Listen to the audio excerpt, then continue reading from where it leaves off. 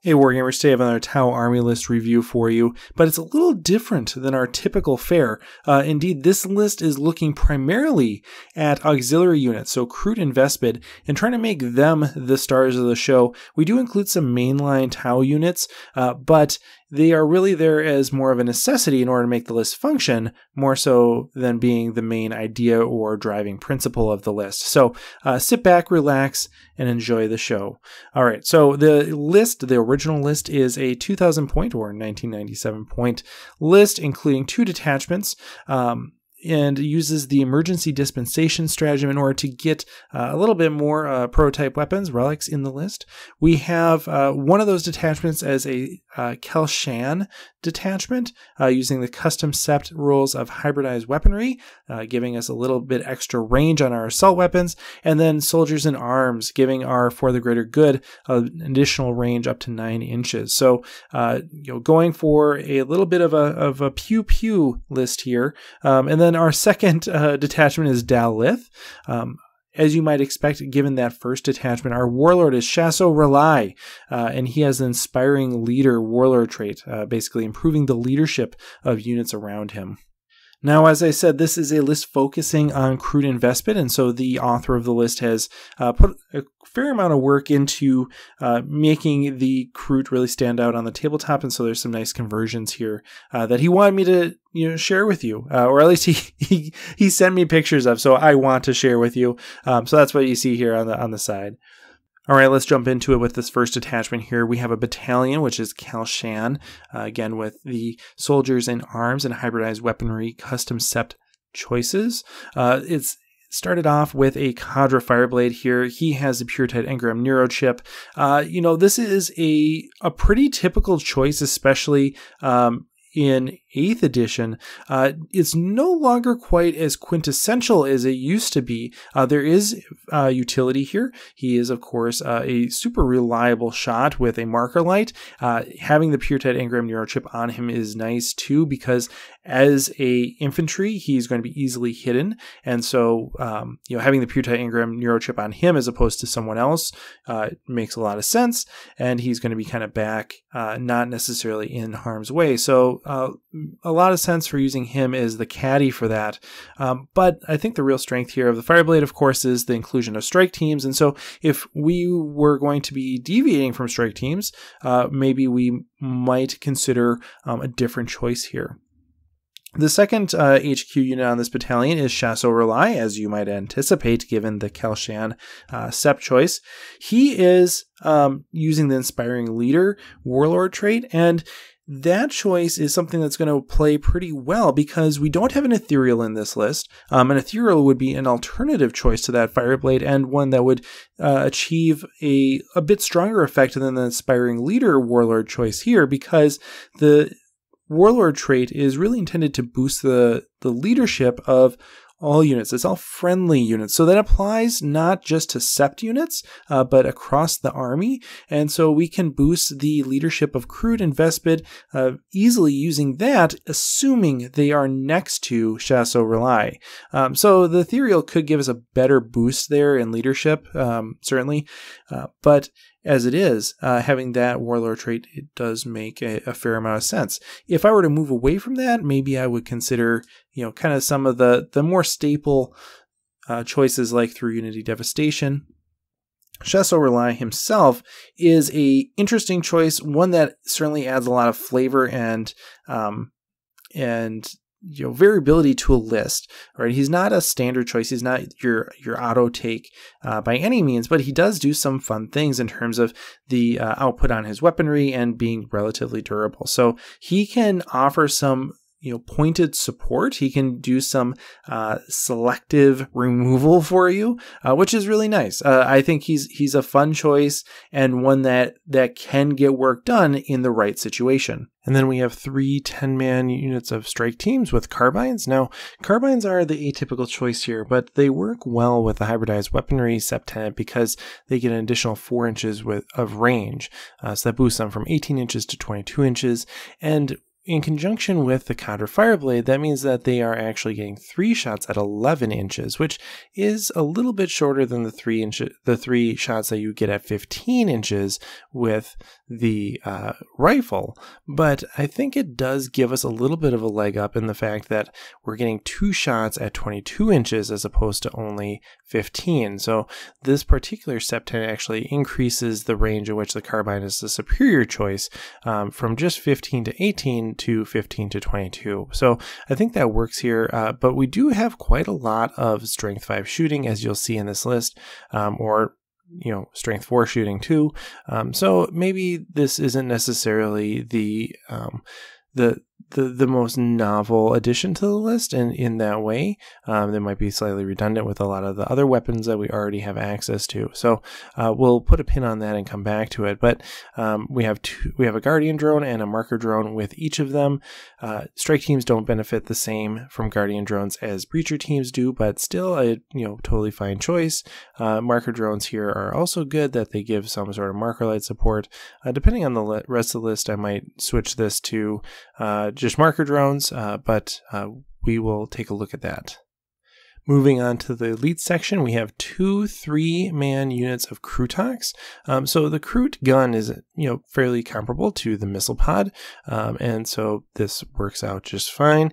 Um, of course, they don't have the sept tenet, so they don't benefit from uh, any of the sept rules, but um, it is in theme for relying on those auxiliaries. So um, we get to use some of those cool conversions. We get to have uh, Kroot running around the tabletop. It's a win, um, and they can, you know pack a punch at range, and also the Krootox themselves can uh, go berserk. So uh, in close combat, so we can we, we can make some fun things happen with the Krootox here.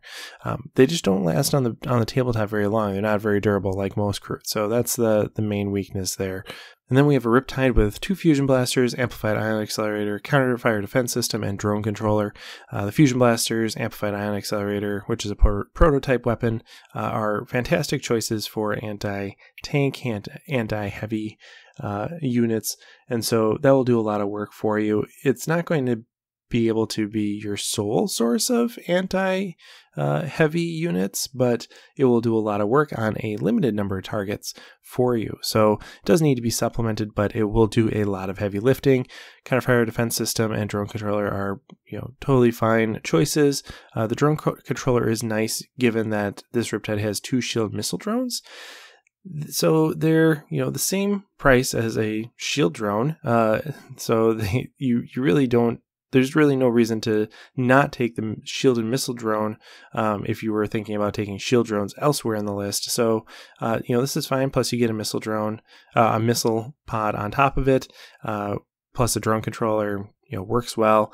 It will be a nice kind of anchor unit for your drones to hover around, and I would expect that many of the drones that are in this list would end up finding their way over near the Riptide anyway to protect it. So um, having the drone controller on top of there is a good choice, and the counterfire defense system also um, a good choice just to kind of protect that Riptide a bit more. He he could use that counterfire basically. Um, then we have three hazard suits with fusion cascades and shield generators. The thing about hazard suits, they can be they're very points efficient if you can use them, right? If you can actually enact them, if they can get in range, stay in range, and fire all throughout the game, they are a fantastic return on investment. But that is very challenging to do. Uh, I suspect that's why these have shield generators, is to try to keep them in the fight a little bit longer. But um, the, those fusion cascades are very, very short range, and uh, it's it's really hard to enact them. I think these are a wonderful choice for fun. Um, and again, I think that's more of the idea of this list is is that this is a first and foremost meant to be a list for fun, uh, not for winning GTS. Um, so, like keeping that in mind, I think these are a wonderful inclusion in the list because they are uh, um, fun as as uh, well. They're as fun as, as, a hazard suit could be. They're hazardously fun. Um, so yeah, that's great. They have a gun drone and a marker drone. I would probably, you know, either go all gun drone or all marker drone. Like the four, you know, strength five shots here really probably aren't going to make a difference. So we either would want to to bulk those up or just go with the marker drones to kind of help out those fusion cascades a little bit more. Then we have three Vespid units, two with five and one with four Vespid, including a strain leader in each of those. Those strain leaders are really important. They provide some staying power, some leadership ability in that unit. Um, and so you, you should always take a strain leader. But um, um, the difference here in, in five versus four is probably just due to points. I don't think there's a real strategic reason to take only four over five. Um, so yeah, like this is totally in the vein of the the theme of the list, right? We're we're building a list here at this point that is very cagey and Vespid are cagey, right? Like this this list does not have a lot of staying power. Um, the Riptide is so far the most durable thing, and um, we have a limited number of drones in the list. So I, I think you know, this list is meant to play very cagey, very, very strike and fade. Um, and Vespid can do that, right? Like that's kind of their thing. They're not going to stick around um, very long if if uh, confronted directly. So um, having three units of them uh, is is good in that vein because you'll you'll need them right they're not gonna they're not gonna stay on the tabletop the entire game so having multiple units having that little bit of redundancy there will ensure that you're able to utilize them uh, at least you know at least three times, I suppose, which is good. Uh, and then we have two Devilfish uh, with smart missile systems.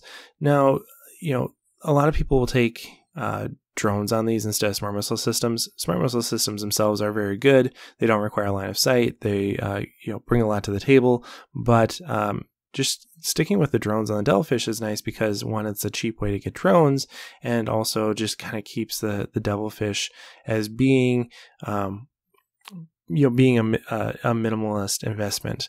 Um, the, we have two Devilfish here meant primarily to to carry those um, those carbine strike teams around, make sure that they can utilize that range. Um, I don't know if two of them are totally necessary, right? Like they, the thing about the Devilfish here is that they are they are in conjunction with the Riptide providing some durability, right? We can have our we can have our strike teams in the Devilfish and then ensure that they're able to survive for a certain period of time. Um, the Devilfish themselves can, can sit on objectives. Again, part of the reason why they have smart missile systems here is that they can hide on an objective behind a, you know, uh, obscuring terrain and still contribute something uh, aside from just objective scoring. So, um, so I, I think that they are are good choices in that regard. There are other ways that we could do that, of course, though. There are other ways that we can build in durability to our list aside from just taking devilfish to have devilfish. Um, but but I think we're kind of in the middle of the road here in terms of we have these devilfish to to caddy around some, you know, carbine strike teams, um, and the devilfish do some work on their own too. So I, I think that's a fine choice uh, in that regard. All right, and then we get to the second detachment finally. um, it's a patrol detachment, and it is a separate sept. It's Dal'yth as opposed to our custom Kelshan detachment. Uh, it's led by an XVA commander with three cyclic ion blasters, a shield generator, and iridium armor. Uh, the cyclic ion blasters are a pretty standard choice. They're going to bring a lot of punching ability, some flexibility uh, to the army. Uh, you know, of course, most armies will have more than just three cyclic ion blasters, but uh, the inclusion here is welcome. We, you know, we have we have um, the hazard suits, we have the Riptide, we have uh, the Krootox so far as really being things that can offer some sort of punching ability. Uh, but we've discussed the limitations of all three of those, and so having a little bit more reliable punching ability in the form of this commander is good. Uh, the shield generator is a choice um, here that that does make a lot of sense if he's going to get charged. Um, right? Like he he is Dal'yth, which means that he's a separate sept than the majority of the drones in the army. He brings two drones, um, so he's going to have access to those lookouts or those savior protocols, but he can't benefit from savior protocols from any other drones in the list. Um, and so he's really going to be relying on Lookout Sir to prevent himself being targeted. So he'll have to to do a lot of screening, a lot of hiding in order to um, not be targeted. And so the shield generator is a choice that um, is going to give you some safety in the case that you're not able to maintain that screening or if he does get charged. Um, same thing with the iridium there. I think the iridium is, you know, a pretty pretty uh, auto include thing here uh, because you're not really giving anything up for that other than the points. The shield generator, you could argue, you know, maybe you're better off taking advanced targeting system instead of a shield generator just because it improves its output and you're, you know, you're going to have that Lookout Sir for at least a few turns. Um, so I, I think you could go either way on that, depending on how how um, well you're able to leverage the high model count in this army to keep that commander alive. Promising Pupil is a stratagem that allows him to take a warlord trait. Um, he's taking Gunship Diplomat, which allows nearby Kroot Vespid to fire for the greater good. There seems to be the hope, the aspiration of interaction here between um, this and the um, soldiers in arms uh, Sept tenet in the Kelshan selection. Unfortunately, they won't interact because although Gunship Diplomat gives Kroot Vespid for the greater good if they are close by, uh, it does not give them the Sept tenet. It does not give them the Sept uh, keyword. So, um, so they're not able to to benefit from any Sept tenets, but they can fire for the greater good, which is good. it's it, it's the greater good. Um, yeah. So gunship diplomat here is is nice and and will offer some some utility to the high number of auxiliaries uh, that are in the list. So I think that's that's you know uh, that's the clear utility there. Um, I don't know if there was the intention of a rules interaction there or not, but um, just clarifying that there is not um, one possible. So uh, I think that's a, a, great a great little commander to have in this this patrol detachment. Uh, he has two 10 man units of Kroot. I want to see more Kroot in this list, right? I think if we're gonna go for Kroot, we should make more Kroot. Uh, so let's get more let's get more Kroot in here, and then you have a shaper. Uh, you need a shaper if you're going to be bringing a bunch of Kroot. So cool, uh, let's do it. And uh, yeah, that's that's the list. Uh, as I said earlier, I think this list plays very cagey. Um, it has some some uh, punching ability, but it's limited, right? We have we have the hazard suits. They're really hard to actually utilize throughout the majority of the game. The Riptide is the most reliable source here, and then we have the Krootox, which um, are going to be able to to do some punching, but they again are are maybe not long for this world. Uh, so I would like to see a little bit more offensive shooting ability or higher strength shooting ability um, and some durability offered in this list. I don't know. Um, I, you know, there's a limit to how much we can do that if we're sticking to the theme, but we're going to give it a the, the old college try um, to to to tweak this to be a little bit punchier, a little bit more durable, and uh, you know um, maybe maybe uh, ironically or counterintuitively, I want to see more Kroot too, right? Like I I think we should have more bodies in this list even. So let's see what we can do. Uh, let's let's play with this list again. If you haven't seen one of these before, I probably should have said this before. If you haven't seen one of these before, I'm going to try to review this list while maintaining the general theme of the list, the general approach. Um, and so that's what the revision will be. It'll be largely a list that maintains a lot of the same elements, but tweaks them to just be a little bit more successful in the in the game of 40k I play in my mind. So let's get to it.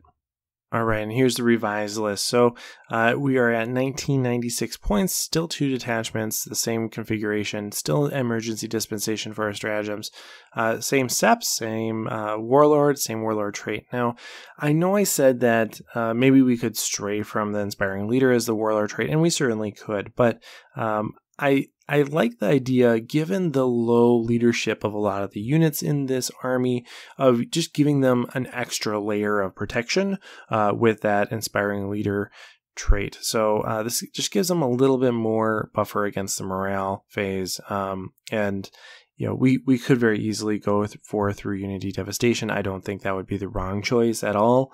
Um, but this seems like it it could just give us a little bit more buffer given a lot of things are going to die. So let's just let's let's let's play with it and see how it goes. Okay, our Kelshan detachment here. I switched out the Cadre Fireblade for an Ethereal, uh, and that'll make more sense in a minute here. Um, he's on a hover drone. He has two marker drones with him. Uh, the Ethereal here is largely because I want to be able to give, um, I want to give everybody uh, the guidance of the ethereal's leadership um, right? Like i think that that will go a long way uh, you know kind of along the same lines well really uh, along the exact same lines that i just mentioned with um, using inspiring leader as, as opposed to going for a different warlord trait. So um, the ethereal is really going to you know lay down the law and uh, provide some much needed uh, morale support for the army, uh, and the hover drone allows him to be in the right place at the right time to do that. So I, I think this is probably a, a stronger choice in that regard. Uh, R'alai's exactly the same. He's still doing the same things in this list. Uh, then we get into our troops. We have four five man breacher teams. So this is fewer um, strike teams or fewer fire warriors. Um, but they are breacher teams. They are going to be more um, more punchy, right? And they're going to benefit more from these Guardian drones. Notice I've only included drones on um, on two of those units. That is because I'm intentionally packaging these to have one unit with drones and one unit without inside a Devilfish, um, and that way I can pack all my fire warriors into those Devilfish, ensure that they're staying on the board for at least you know a turn, um, and then you know giving them some durability and mobility to use those those blasters. Um, so I think I think this is going to give us a little bit more durability and a little bit more offensive ability, even though it's fewer fire warriors overall. Um, it, it brings something different to the list that was otherwise lacking, in my opinion. Moving on, we still have those Krootox. Uh, you know, crew Krootox Pride. Let's let's get more crew Krootox out there. Uh, it's one of those models that um, will always, you know, just be like iconic to me. Uh, I know that this particular author is using conversions, but um, but I still love Krootox or Crutoxin, if you will. Um, then we have the Riptide. He's still the same. Um, then we have the three hazard suits again. I, you know, if I were to be be shifting away, maybe a little bit more competitively minded, I would I would not include all three hazard suits here. Maybe one, maybe two. Um, but I I probably would use those points to do something else. Um, but but that's not what we're doing. Like this, that's this is kind of the name of the game, so we're going to stick with it. Um, and and I the only change I've made here is just giving them two marker drones to make sure that they're they're able to land their um, fusion cascade shots effectively. That's a that's the only thing is just giving them a little bit more support there um, in terms of their their shooting ability. Then we have three units of Vespid still, still with Strain Leaders, but now they're all just four unit, four man units. You know, five was nice. I don't think the, the difference between four and five is that important. Freed up some points elsewhere. Um, we can still do a lot of the same things with four man units, so that's what we did. Uh, then we have the two Devilfish. This time they're bringing gun drones uh, instead of more missile systems, just because the gun drones are, again, another source of drones and savior protocols.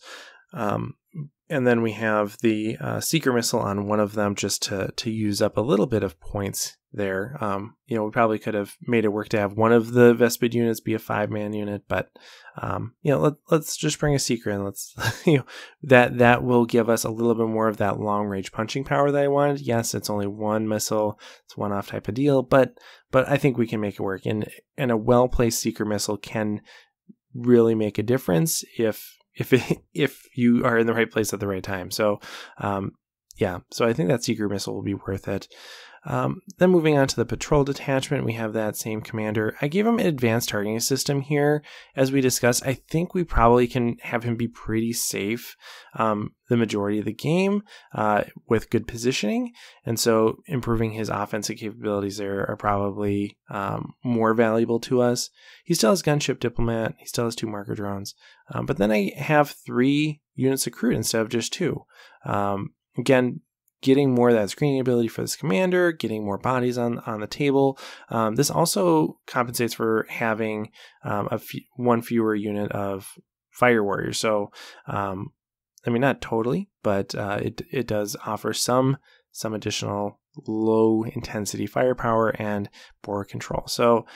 Um, we're leaning heavy into the Kroot here, and I think it's wonderful. So let me know what you think in the comments below. Do you like these changes? Overall, I think this revised list um, does have a little bit more durability, has a little bit more of a diversity of firepower in it, which is valuable. Um, but yeah, it's a it's a cagey it's a cagey list. We gotta we gotta you know uh, call our shots here, I guess. So uh, yeah, I think it's I think it's a really fun list. Uh, I I would be really I think this would be a lot of fun to play with, just with the number of auxiliary, auxiliaries. Uh, hopefully, with the new codex, auxiliaries get a little bit more attention, a little bit more of their time to shine, and we'll see more lists like this even in a competitive environment. So, yeah, let me know what you think in the comments below. And as always, happy wargaming.